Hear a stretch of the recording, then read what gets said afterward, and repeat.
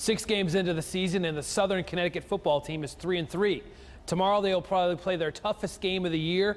14th ranked LIU Post comes to town. If the Owls want to win, they'll need good play from their quarterbacks, one of whom was playing wide receiver earlier this year. Every coach in the college football team would love to have a guy like Ray. Yeah, things are going pretty well for Southern's junior quarterback, Ray Catapano. He helped the Owls come from behind to beat American International three weeks ago and again played well in a win at Pace last weekend.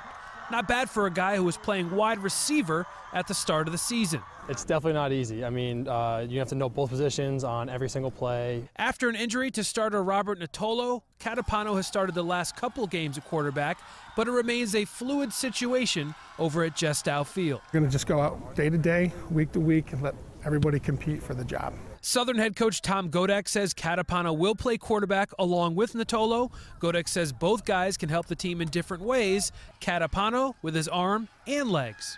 He's well prepared. And again, sometimes you have to do things. Um, sometimes things don't always go as drawn up on the play script and stuff. So he may be a little elusive to get away from the rush at times. Switching positions is nothing new to Catapano. He's been doing it his whole career. I was actually I was actually switched between quarterback and wide receiver. You know, all, all since I started playing. I was about I started out in fifth grade. I started out as receiver, and then a couple years later I moved to quarterback. Catapano says he'll do anything to help this team win. I mean, honestly, I just like being out on the field. He's a team guy all the way, cares about his teammates. He probably could play some defense for us if we needed him to.